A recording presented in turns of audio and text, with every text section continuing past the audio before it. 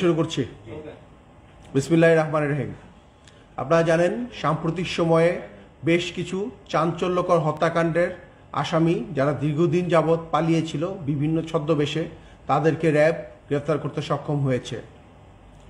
গত একত্রিশ মে উনিশশো নিরানব্বই আর্থিক লেনদেনের জেরে আদম খান উর্ফে রফিক, ভিকটিম নূরচান বেগমকে ছুরিকাঘাতের মাধ্যমে হত্যা করে। ঘটনাস্থলে আপনারা জানেন এই হত্যাকাণ্ডটি তখন বেশ চাঞ্চল্যের সৃষ্টি করেছিল। কারণ এই নূরচান বেগমকে যখন হত্যা করা হয়, তখন তার পাশে তিন বছরের একটি শিশু সন্তান ছিল। নূরচান বেগম একজন বিধবা মহিলা ছিলেন। তার স্বামীও ছয় থেকে সাত মাস পূর্বে মৃত্যুবরণ করেন। এবং এই হত্যাকাণ্ডটি মূলত হয়েছিল মাত্র দু হাজার টাকার জন্য। নূরচান বেগমের ছেলে শফিক, এই আদম আলীকে প্রায় বছরখানেক পূর্বে দুই হাজার টাকা ধার দিয়েছিল। যেহেতু এই প্রায় সাত, আট মাস পূর্বে তার পিতা মৃত্যুবরণ করে এবং তাদের মধ্যে একটু আর্থিক অভাব, অনটন চলমান ছিল। এই জন্য নূরচান বেগম আদম আলীর কাছে এই দুই হাজার টাকা, তার পাওনা টাকা চাইতে আদম আলীর কাছে যায়। পরবর্তীতে এক পর্যায়ে আদম আলী তার সাথে গালি গালাজ এবং খারাপ ব্যবহার করে এবং এক পর্যায়ে ছুরি দিয়ে তাকে আঘাত করে। ফলশ্রুতিতে ঘটনাস্থলেই তার মৃত্যু হয়।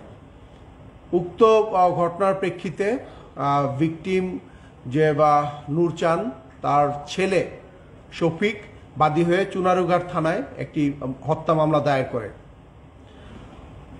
উক্ত হত্যার প্রেক্ষিতে দুইজন ছেলে এবং একজন মেয়ে তারা ইতিম হয়ে যায় এবং এলাকাতে এই হত্যাকাণ্ডের সুস্থ বিচার জন্য সেখানে সঠিকভাবে যেন বিচার হয়, সেখানে মানববন্ধন হয়। ঘটনা পরবর্তী আদম খান ঘটনাস্থল থেকে পালিয়ে যায় এবং সে হবিগঞ্জ ত্যাগ করে। উক্ত মামলা চালানোর জন্য ভিকটিম নূরচান বেগমের একজন নিকটাত্মীয় এবং বিভিন্ন তাদের যে পরিচিত এলাকাবাসী, তারা সবাই সম্মিলিতভাবে বিভিন্ন সময়ে চাঁদা কালেকশন করে, অর্থ কালেকশন করে, তারা এই মামলা পরিচালনা করে এবং পরবর্তীতে দুই হাজার দুই সালে এই মামলায় যে হত্যাকারী আদম খান ওরফে রফিক, তার ফাঁসির দণ্ডাদেশ হয়। সাম্প্রতিক সময়ে র্যাব জানতে পারে যে উক্ত মামলার যে ফাঁসি দণ্ডাদেশ প্রাপ্ত আদম খান, সে প্রায় বাইশ বছর যাবৎ পলাতক রয়েছে এবং বিভিন্ন তথ্য উপাত্ত সংগ্রহপূর্বক র্যাব গোয়েন্দা শাখা ও র্যাব নয়ের আভিযানিক দল তাকে গ্রেফতারে বিভিন্ন স্থানে অভিযান পরিচালনা করে। এরই ধারাবাহিকতায় গতকালকে রাতে রাজধানীর পার্শ্ববর্তী আশুলিয়া হতে আদম খান ওরফে রফিককে গ্রেফতার করতে সক্ষম হয়। প্রাথমিক জিজ্ঞাসাবাদে আদম খান জানায়, ঘটনার দিন সে এই পরিকল্পিত হত্যাকাণ্ডের পর সে ঘটনাস্থল থেকে পালিয়ে সিলেট শহরে প্রায় সপ্তাহখানেক অবস্থান করে। পরবর্তীতে সে সেখান থেকে পালিয়ে এই ঢাকার পার্শ্ববর্তী আশুলিয়াতে সে এখানে ছদ্মবেশে অবস্থান করে।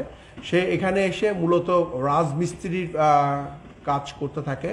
এবং সে যাতে তাকে কেউ চিনতে না পারে, এই জন্য সে বিভিন্ন সময় বিভিন্ন স্থানে অবস্থান করত এবং বিভিন্ন ছদ্মবেশ সে ধারণ করত।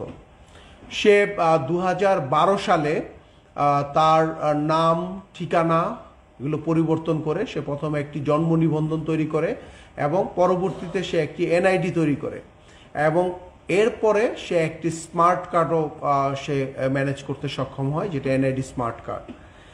একইভাবে সে দীর্ঘদিন এখানে পলাতক অবস্থায় ছিল। সে গত বাইশ বছর সে আশুলিয়ার আশেপাশেই ছিল। সে কখনো তার নিজ গ্রাম বা নিজ এলাকায় সে কখনো যান নাই এবং সেই যে তার জালিয়াতির মাধ্যমে সে যে একটি ভুয়া নাম ঠিকানা ব্যবহার করেছে, সেটাও কখনো এ পর্যন্ত প্রকাশিত হয় নাই। র্যাব ইন্টেলিজেন্স এবং র্যাব নয়ের আভিযানিক দল তার এই যে পলাতক থাকা অবস্থায় তাকে শনাক্ত করতে সক্ষম হয় এবং গতকালকে রাতে তাকে গ্রেফতার করে। গ্রেপ্তারকৃতকে তার আইনানুগ ব্যবস্থা বা তার বিচারের জন্য তাকে চুনারুঘাট থানায় হস্তান্তর করা হবে। ধন্যবাদ। মানে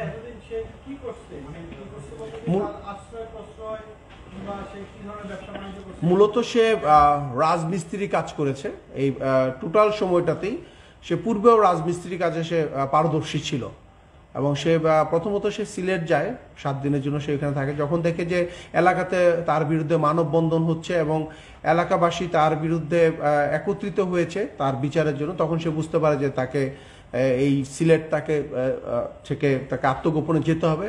তার প্রেক্ষিতে সে মূলত আশুলিয়াতে আসে। প্রথম কয়েকদিন সে বিভিন্ন কাজ করেছে। কখনো সে ফল বিক্রি করেছে বা বিভিন্ন কাজে ছিল। পরবর্তীতে তার যে মূল পেশা রাজমিস্ত্রি সে এর মাধ্যমে নিজেকে প্রতিষ্ঠিত করে এবং আশুলিয়া এলাকায় সবাই তাকে রফিক রাজমিস্ত্রি হিসেবেই চিনত।